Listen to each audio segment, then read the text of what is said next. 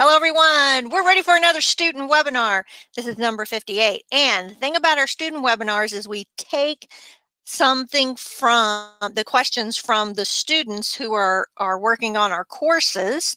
Uh, we have several courses, several credentials that we help people get through, as well as some background things like uh, pharmacology, pathophysiology, uh, you know, to and, and medical terminology and anatomy. So you could see some of that in these student webinars, but a question came in this past week that was really good.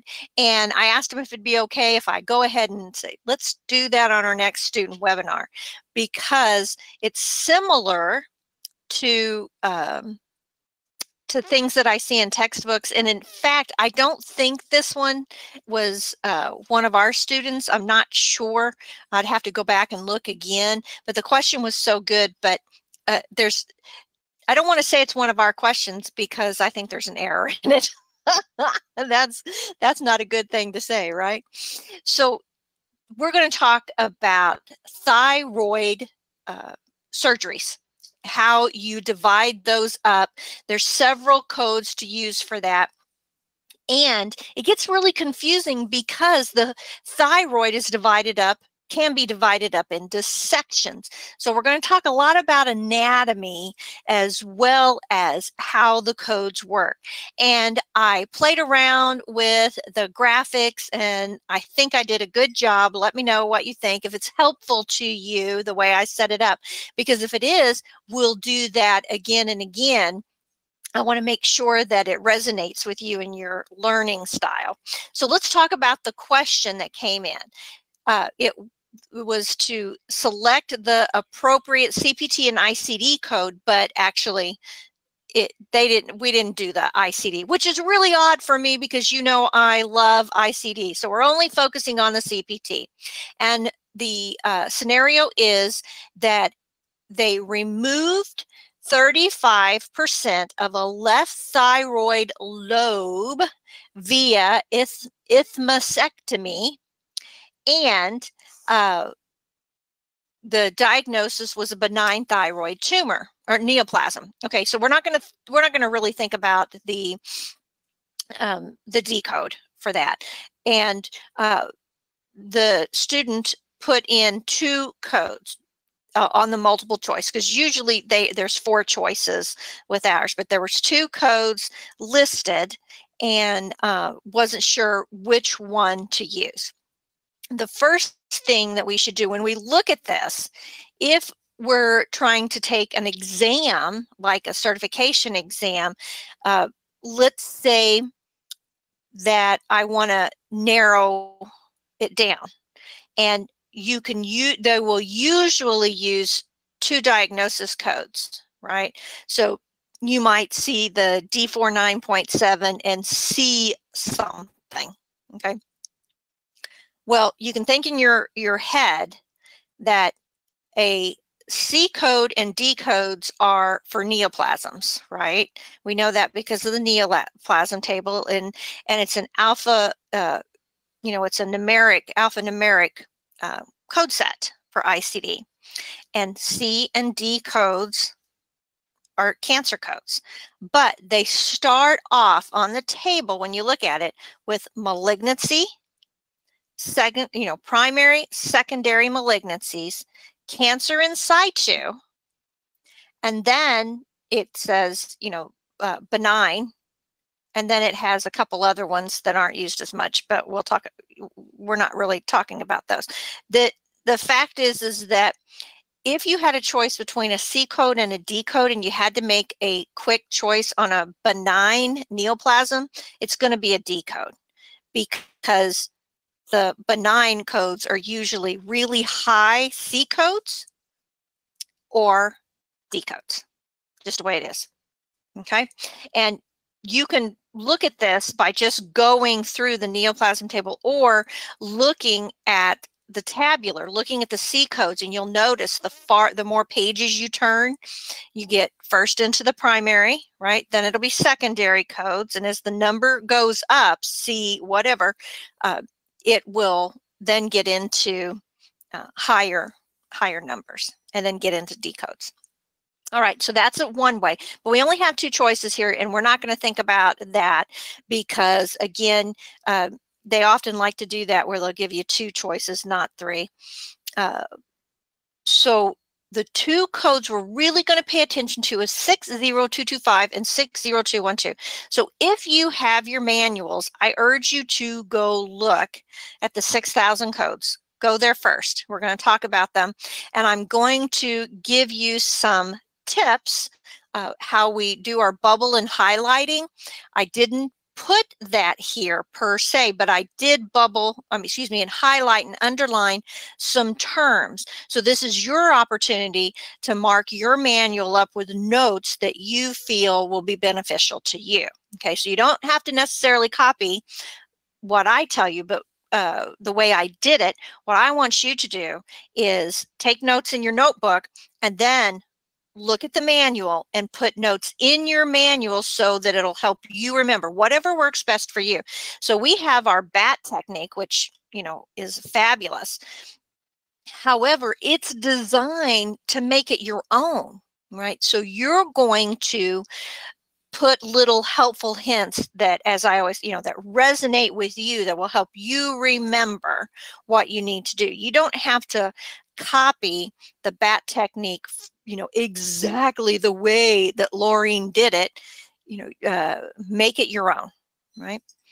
So it, because it's just a teaching tool, it's a tool. So our two codes, you need to go to the six thousands. Um, let's first look at some anatomy. And we were uh, given permission by Find a Code to use their graphics. This is a great graphic. I've already used it on some other things that I'm working on and uh, real pleased with the, the graphics that they've created for themselves. So if you are a Find a Code user, uh, then again, you can take advantage of these great graphics and hopefully that'll help you with your anatomy and your terminology. So the thyroid is often referred to is uh, looking like a butterfly. And you'll notice here that it does. It's it's kind of um, not. It looks like two wings. You know, uh, that's the best way to explain it. And it wraps around the um, trachea. So this is a front view on the one side, and then that's a back view on the other side. So uh, you can see all of the anatomy that surround eh, that is surrounding the thyroid. And uh, in your throat, whenever you go to the doctor and they palpate, they'll palpate up here, and then they're feeling for the carotid arteries. They want to feel that they're not like trying to leap out of your neck, right? They can, uh, that's how you check a pulse. You see them do that in the movies and the TV shows to see if someone's dead, right? Check their pulse in their throat. Or when you see people running and they stop, yeah, I always think that's funny. But again, that's that's what they're doing. Those carotid arteries that that are right there. Now, uh, the other thing that the provider is going to palpate is your thyroid. Now, for men, it's nice because they have the Adam's apple. It's right below the Adam's apple with them. Women don't have that protruding Adam's apple. Uh, uh, that piece of cartilage that sticks out. It, but you can feel your your thyroid. Now, even if you're a fluffier person, you can probably still feel that thyroid. And if you notice that uh, by the picture, it is kind of lump. It's not a smooth organ. It's a gland but you can feel it there and kind of wiggle it around. Don't be squeezing too much. But uh, again, it starts right here and at the center is the isthmus. And then it goes out in what, you know, looks like two wings, but it's actually lobes. So you have a left lobe and a right lobe. Okay. And uh, then, of course, behind the trachea is the uh, esophagus. The other thing that you want to be familiar with is the parathyroid glands. And those are little tiny pearls. There's two on each side that um, are on the, the lobes and they make a difference. So you have your thyroid gland. Now let's talk about the actual purpose of the thyroid. This is going to be beneficial to you uh, as far as um, any type of an endocrine diagnosis will fall with the thyroid. The thyroid does a lot. I was just reading today as I was getting ready for this that it is a small but mighty gland. And if you are having problems with your thyroid gland, boy, does it mess the body up. So you notice here that I put the arrow and showed you that that center part, that little junction uh, where it's pinched, that's called the isthmus. And it's important that you know that. That's the isthmus. And then each side of the wings that wrap around the trachea, those are lobes. Then they have laterality. Now, again, see, they've circled uh, the parathyroids. The parathyroids are these, like I said, little tiny pearls that are in there. That's the best way to uh, explain them. But they are different than the thyroid. Okay. They they are an additional gland. So let's start at the uh, information that you don't have to have this memorized, but it'll be helpful to you if you understand the way the thyroid works. The uh, thyroid is uh, going to help with the calcium in the body. And so when you see lab tests, you'll see calciums being checked. And if we don't have enough calcium in our system, not only does that affect the bones, but it also affects the heart because your heart is chemical, chemical, electrical, as well as uh, muscular. Now, the thyroid releases uh, calcite, I'm going to put the emphasis in the wrong place, but it's this calcium type, uh, the liquid. I don't know what, what I'm trying to say. It's it's a um, uh, somebody give me a good word. It's calcitonin. Yeah, there you go. So what it does is it actually tells the osteoblasts to um, put calcium in the bone. Now, your osteoblasts are part of the bones themselves. Okay, it's the it's the uh, cells the that work and help create uh, blood cells in the bone. So, if we have uh, too much calcium, we will our body gets rid of it, and that's where people can have things like kidney stones, right? Because you have to get rid of the excess calcium in the body. If you don't have enough, then you lo- lose density for the bones. And then you have things like um, osteoporosis. Now, the parathyroid glands, uh, they are different. You've got two on each side. Well, they kick in when the calcium that is uh, uh, in the blood starts indicating that it's too low. So really honestly your whole body has these things like sensors in them that tell the brain hey we don't have enough calcium so what are we going to do? The parathyroids say don't worry that's my job. I'll take care of it and they tell the body to start producing um, you know getting more calcium. And then the but the thyroid itself is um, there is kind of the ones that are regulating everything, keeping track of everything. This gland also has a parathyroid hormone, and that hormone tells the osteoclasts, which is a different type of a component of the bone, that um, uh, what to do. And then it will also regulate that uh, the calcium so that uh, we have enough bone density. If we don't, of course, again, osteoporosis is the result. Um, now, that is mostly talking about bone density, but the thyroid does so much more than just regulate bone density. The thyroid also has hormones that um, tell the body uh, that you uh, it will affect mood. It will affect also uh, energy levels in the body. So if a, some if somebody has hyperthyroidism, then uh, the the thyroid is working too much, and therefore the person's jittery. They they're like bird like. They can't put on weight. They um, uh, have trouble concentrating. Uh, they probably can't sleep. And uh, there's a whole list. You, you should take the time to study hyperthyroidism and hypothyroidism. We're not going to get into that part. We, we've done that. That's more ICD, right? And today we're focusing on um, the CPT codes. But I want to give you this review, this background.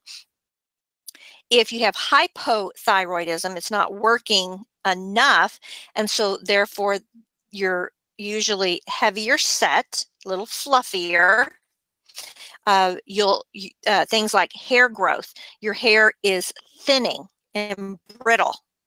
Um, also, it uh, will make the eyes bulge. So if you see somebody that has eyes that are bulgy and their hair is thinner and brittle looking, they probably have hypothyroidism. And usually, uh, sometimes they'll have a goiter or, you know, in, inside the, the thyroid be enlarged. Okay, so that's some basics about the anatomy the structure of the thyroid, and a little background about what it does, including bone density. So let's look at the two codes that were given in our question. The first code was 60225. So when we look at that in the manual, so I encourage you to go open up your manuals, your CPT manual, go to 60225. And the first thing that you need to see in this code is that it's a total thyroid lobectomy. Okay, so uh, total thyroid lobe, uh, lobectomy, unilateral with contralateral subtotal lobectomy, including isthmectomy, which I can't say. Okay, so again, we know we have the two lobes and the central, the isthmus, that's kind of the center piece the patient that we talked about, it's going to be pertinent. They always want to know uh, if it was a total or partial, okay? Because you don't have to take the whole thyroid out. You can take it in sections if you want. So uh, find a code was nice enough to have a description is when a person has a total thyroidectomy, usually it is uh, due to having an abnormality, uh, some type of a neoplasm, or it uh, maybe they're just doing a biopsy and they need to take a larger section with uh, margins. Um, nodules is something that you'll see uh, a, a, term. Uh, somebody, some people could have multinodular uh, thyroids. Uh, let's see, you could have a hot or cold nodules and goiters. Okay, so again, then there's a description. I went ahead and put that in how they remove them. Would they, you'll see it. If you see somebody that has a scar that usually is from here to here and um, kind of curved, that that means that they they had their thyroid worked on. Okay, so the two codes that are commonly used in this section is going to be 60220 and 60225. And the 225 code is the one that was in the question. Okay, so let's look though at the difference between 60220 and 225. The first thing that you need to notice, since it's a total thyroid, it's the entire lobe is removed. Okay, now, remember, isthmus, two lobes. So we're taking one side total lobe out. The, you know, the other thing that you could, the, the thyroid is shaped kind of like the lungs are, except for the lungs aren't connected with an isthmus. They're connected with the bronchial uh, passages. So we're to compare it to that. We're taking one whole lung out, right? We're taking one entire lobe out. So if you're going to use 60220 or 225, the whole lobe is taken. Um, with 220, it states that uh, they could take the margins and they could take part or the entire isthmus, okay, which is the connecting. Now, let, let me give you a little tip. Don't worry about the isthmus, okay? They're either going to take it all or they're not going to, or they're going to take a portion, but that's the same. It's the same in every one of the codes, right? So don't even worry about that. All of them are going to say a part or entire isthmus, right? So again, don't worry about the isthmus at all. Whether they, if they do tap into that to take some, it'll be in the documentation, but don't worry about it. Okay. That's extra verbiage and stuff that you think, oh no, you know, then I have to look for the code that says the isthmus was included. It's in all of them. All right. So 60225, what's the difference between 20 and 225? The difference is that with 225, they're taking part of the other lobe, not the entire other lobe, because that would be a total thyroidectomy, everything. This is unilateral. They're taking one side and they're taking a portion of the other lobe. Contralateral is the term that you're going to see used the most in doc documentation, which just means the other lobe, bilateral. Okay. And, um, but the key is they're taking a part of it. All right. Now we understand. Let's look at some graphics. Uh, this is an awesome graphic and I added things to it. So if we look at 60220, here's the nodule. This is, this is what's going to be removed. And they are going to take some of the isthmus, but we don't care about that. That's this part right here. Because you can take all of it or a portion of it. It's going to be on all those codes. But if you take, if you use 60220, you take this entire lobe, the entire one side is being removed. And all of the other side is being left intact. So if you see the bullets up in the corner, it says one lobe, part, or all of the isthmus. That's what 60220 means. So there's a nodule. We're taking one lobe out, just like if you were to remove one lung. Okay? So that's pretty straightforward, pretty easy. However, what does 60225 mean? Now, we've got our nodule. Again, we're taking one entire lobe we're taking some or all of the isthmus and some or part of the other lobe, but there's still going to be thyroid tissue left in place intact, right? So therefore they've got a working thyroid and they've got at least one parathyroid working as well, right? So that's the difference between 60225 and 60220. We're taking one lobe. Those are total uh, lobal, uh, total unilateral lobectomy. Unilateral just means, hey, we're not taking both of the whole thyroid out, and we're taking one complete lobe and part of the other one. Again, throw out the isthmus. We don't care about it. Very good. Okay. Now let's look at 60212. Keyword here, partial thyroid lobectomy. Unilateral means we're not taking out the whole thyroid with contralateral subtotal lobectomy, including isthectomy. So again, don't worry about the end. Don't worry. We know it's contralateral. So with 60212, we're taking some of the other side but this is a unilateral code, not a total. So again, how do we we remember partial thyroid lobectomy. This one actually is not very common. They usually do the other. And um, uh, the specific reasons why they might do this is, you know, again, if they have something hot going on in there, they have different words for that. Uh, and then a description of how they go in, they'll still have that same neck scar. So the two codes and the notes that you need to make for yourself in your manual. The, the two codes that would be used for a partial would be 60210 and then 60212. So the question had 60212. 60210 is part of one lobe.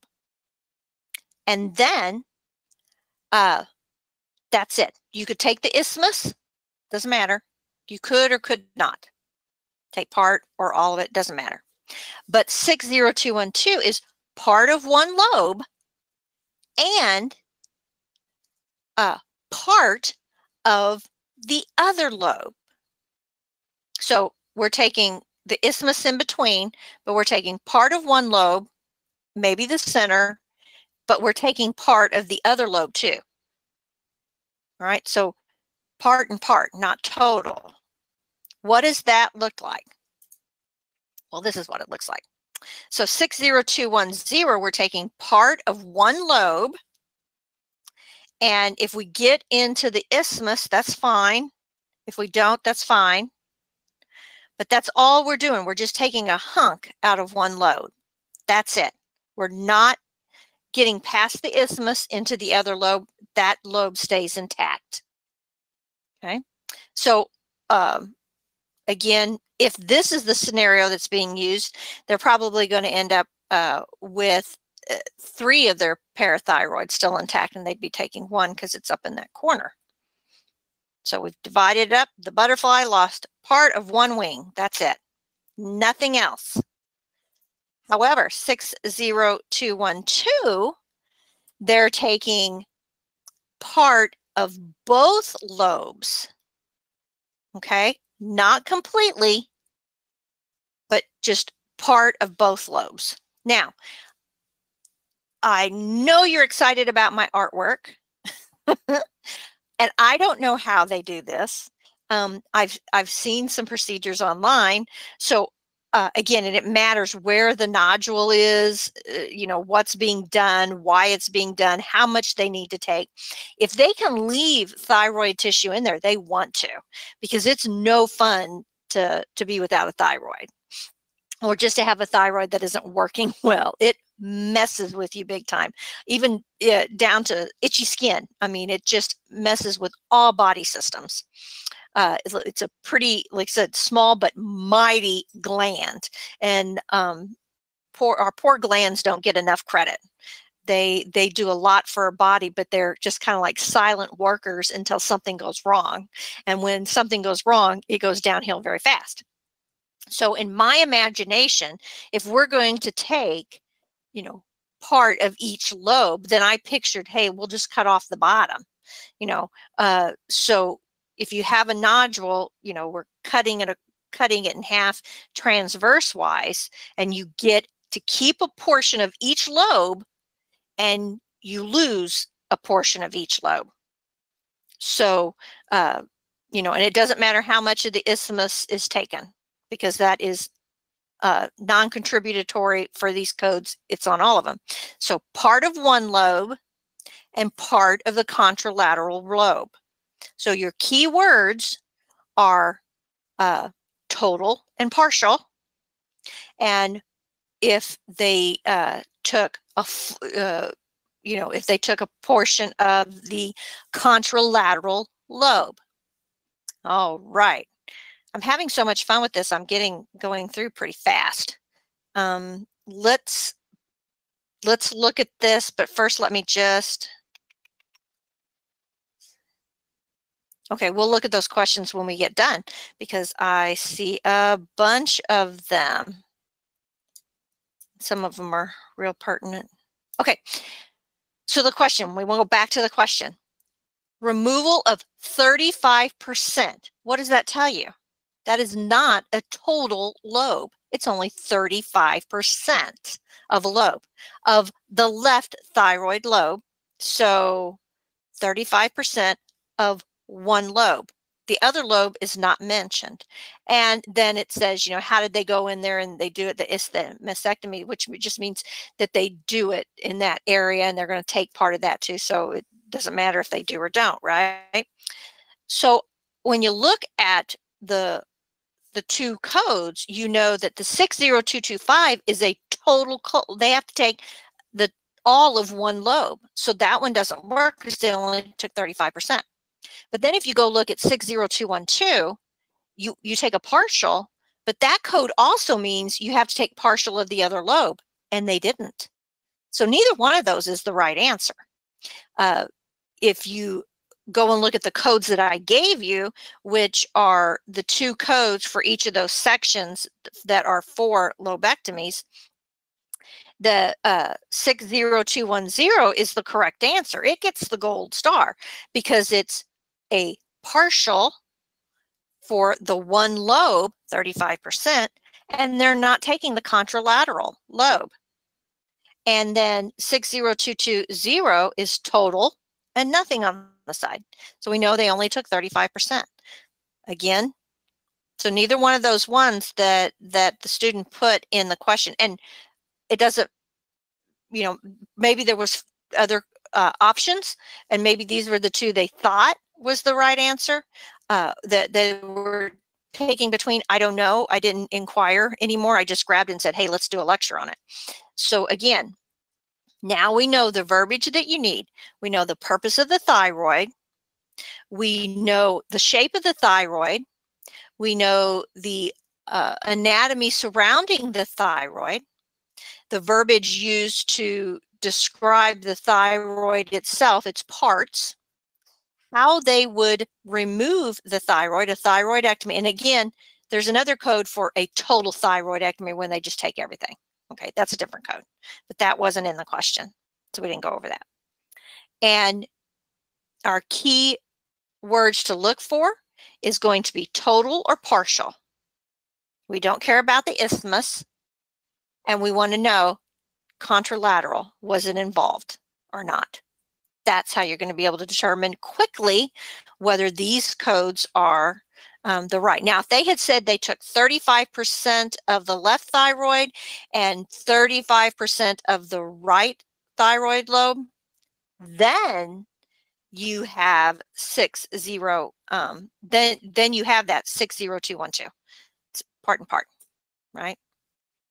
Okay, so I think now we can go for questions. And if you want to see that graphic that I used, it's actually here at this uh, particular link, which our find a or uh, will be up for the students to look at in the CCO club, cco.us forward slash club. So now let's get to our questions.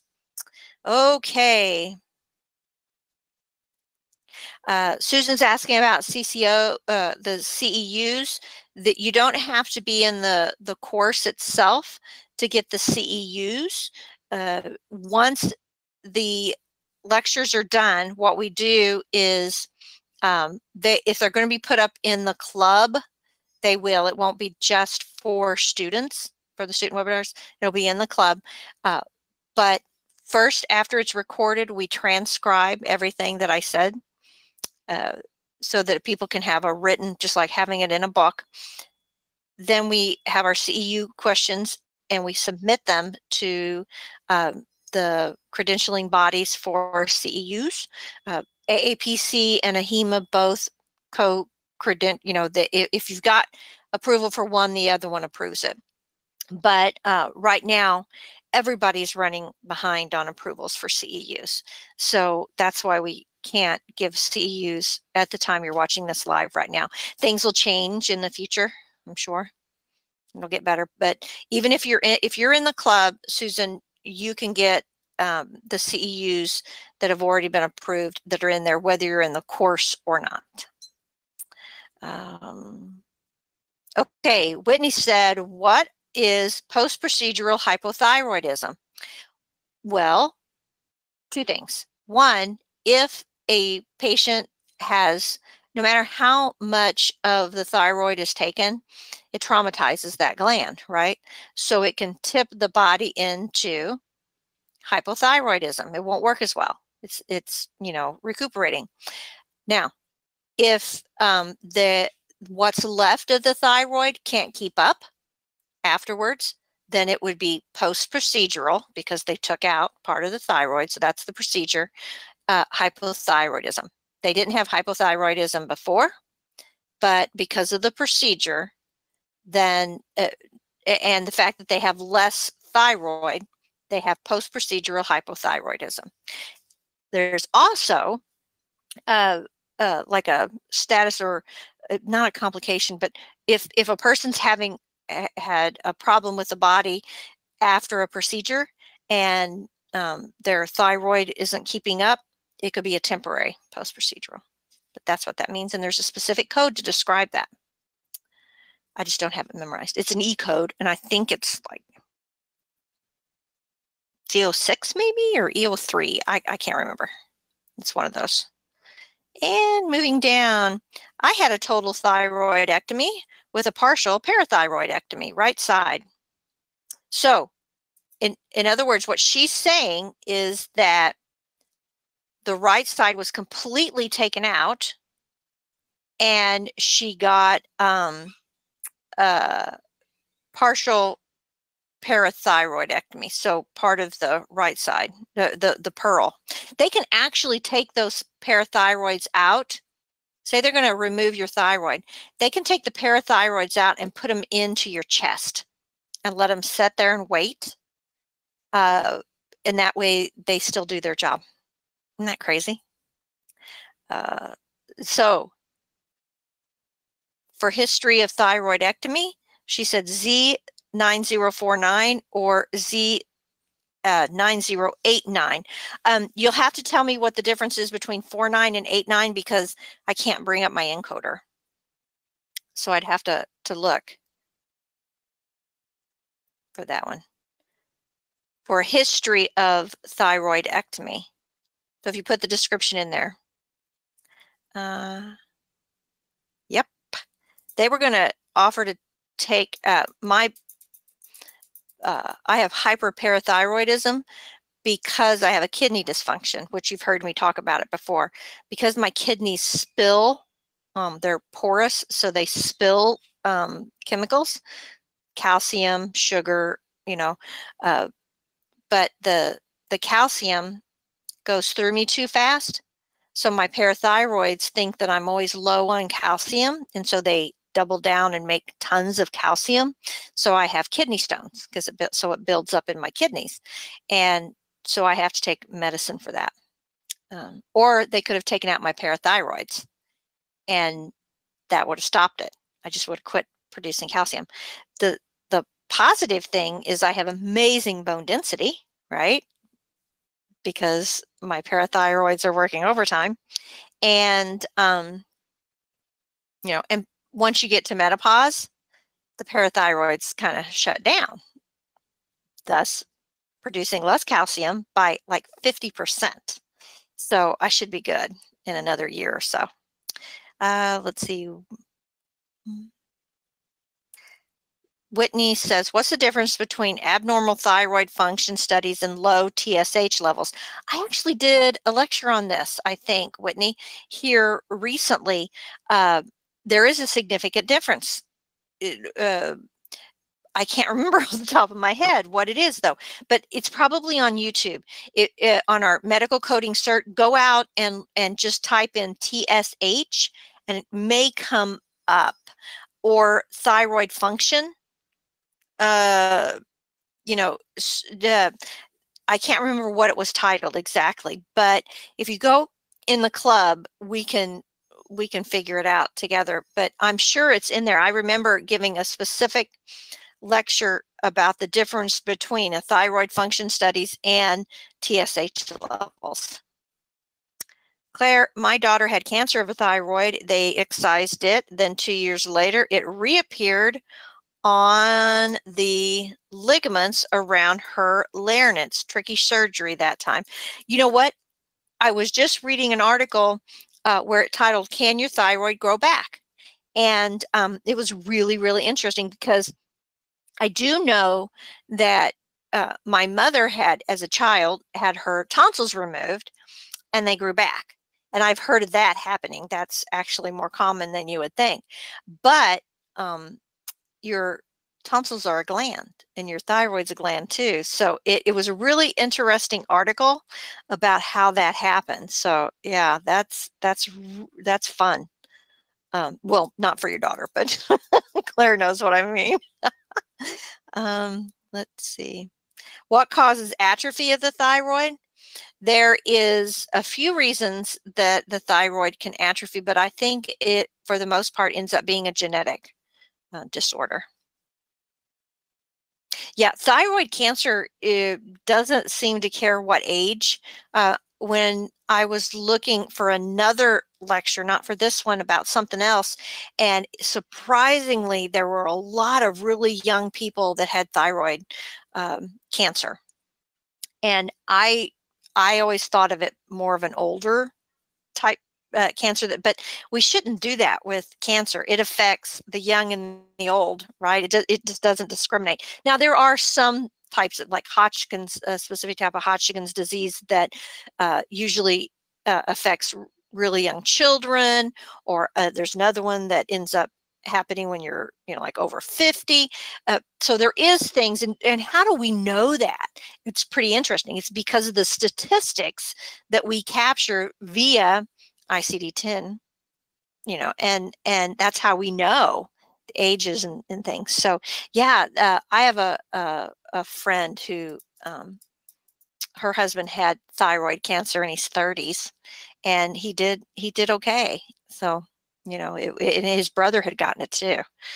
So anyway, um, let's see, 27 when she was diagnosed with thyroid cancer. Claire said, "Yeah, that's young. I I don't know. Um, it would you know, it might be something interesting to look in to type in a search on, you know, um, thyroid can you know age age age you can get thyroid cancer and see what type of statistics you could pull up because they're out there Deanna says, uh, first time doing these webinars, going to YouTube to find more. Hey, we've got thousand, we, we've got a lot of webinars on and, and chunked up stuff Boyd has done for our YouTube video. It's medical coding cert. And you could see us going back like six, seven years. You know, Boyd and I have been working together for, I keep telling about a, almost a decade. So, because I think this year was eight years. So as soon as we get into 2021, I think it's nine years, 10 years. I don't know. I, I was thinking we started in 2011, but maybe it was 12. I can't remember. We'll have to we'll have to figure it out. But you can go back and start looking at those YouTube videos and see how far back they go. And I'm glad, Deanna, that you know, and check out the CCO club, cco dot uh, US forward slash club uh, if you want to get more information. Hyperparathyroidism after my uh, total, yeah, uh, thyroidectomy. Yeah, that's that can be a um, it's a real pain. so I take um, HCTZ to to keep my kidneys flushed out, and then I have to take potassium too because of the hyperparathyroidism. But I have secondary hyperparathyroidism due to kidneys, not primary, secondary, and there's a code there's a code difference for that. Uh, non-cancer of thyroid can have radiation, no surgery, slows metabolism. Yeah, yeah, that's true. Uh, and you know that's the other thing. That's why people who have hypothyroidism usually are um, overweight, and um, and again the eyes and the the thinning hair. And then with hyperthyroidism, it's like the body just eats itself. The metabolism is so high. Um, they can't maintain um, uh, fat and they uh, and and you know what when your body's eating itself it eats at the muscles too so it it really works havoc on on all the organs. And um, like I said, people, you know, you can't sleep. If you have trouble concentrating, um, you know, it's not fun. Either one is no fun at all. Uh, wish that they would have done that to me and saved my paras. Yeah, that put them in your chest. I didn't know they could do that. I mean, I knew they would remove them. And then someone said, yeah, what they do is they put them, I think they put them in your chest. And then, okay, and, and then put them back after. I don't know. I can't remember why they put them in the chest. If they they continued to work in the chest, I was thinking no, uh, but it kept them viable, right? Or maybe they continued to do the calcium for your body, triggers the body to do the calcium when they're in the chest. So you could lose the thyroid, but if, if you kept the parathyroids, then at least the body kept telling, you know, kept the calcium levels up, but it took care of the problems that the thyroid tissue itself was causing. Hmm. Well, you know, it's really fun to study this stuff. You should go out and see the procedures. Uh, so what about 60240? You have to tell me, Al Alana, uh, what is 60240? I don't have it memorized. Is that a total thyroidectomy? That wasn't part of the question, so I didn't do that one. We could do that one. Uh, if you want to go to the club in for the uh, students and everything, we can discuss that in there if you want. Just, just put it in there for extended study. If a patient's on Synthroid, uh, is it appropriate to code? Yes, Z79890. Yes, yes, it is. It's for, well, Synthroid for hormone. I don't know, the long-term use of uh, is what that code is. And then you've got uh, long-term use of other. I would use the one that's for other drug.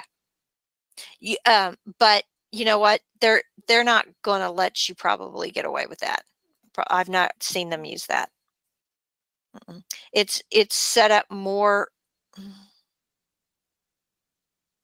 because you have your you have long-term use of insulin. Now you have long-term use of oral diabetic medication. Uh, you have long-term use of anticoagulants. And then you have long-term use of other. So you could use that for other, but um, I would be careful.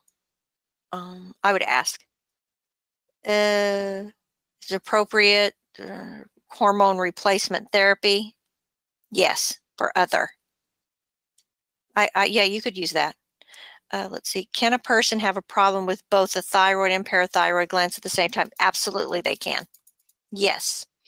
Uh, Z90.89 is acquired absence of other organs. If yes, if there is not a code for acquired absence of the thyroid, then yes, you can use that code. Z9049 is acquired absence of specified parts of digestive tract. 49 thyroid is not part of the digestive tract. Um, 89 is other organ, absence of other. So you would use 89, but thyroid is not part of the digestive tract. And let's see, Boyd put the information about the CCO club out there, cco.us. And Okay. Uh, four nine, uh, 37 years old and had a microscopic papillary carcinoma. Somehow you don't forget that long name. You're right. because that's when my diagnosis, uh, secondary hyper uh, parathyroid calciuria. And Deanna said, thank you. She's a CPMA or I'm a student now for the CPM. Good, good. And TSH is a thyroid stimulating hormone, correct?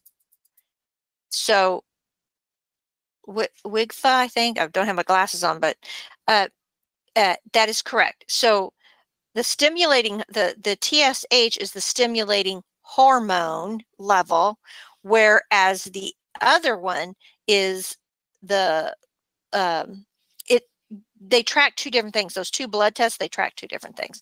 One's the hormone level and one's something else. I just can't remember, but thank you for putting that in there.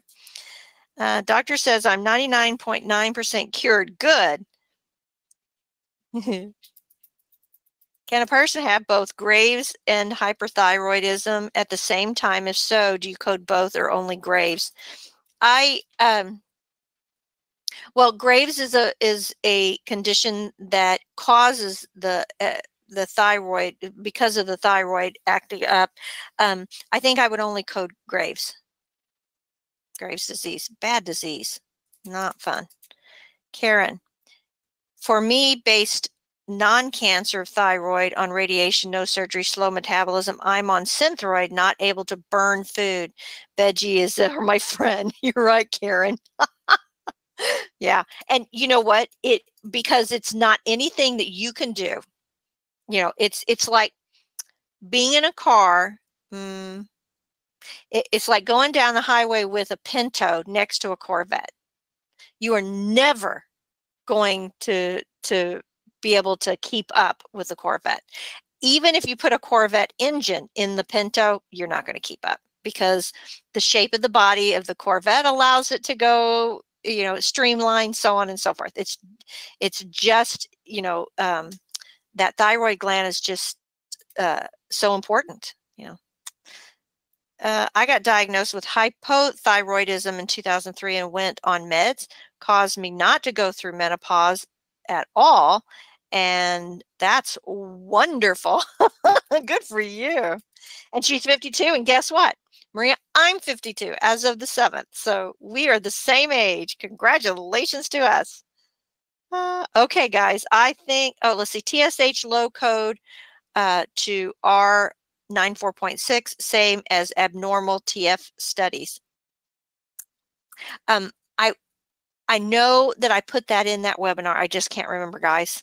Uh, thank you, Shannon. We'll uh, we'll have to go look. And so what I'll do is I'll go find that webinar uh, in YouTube, and then we'll link that in the uh, next this particular um, webinar lecture.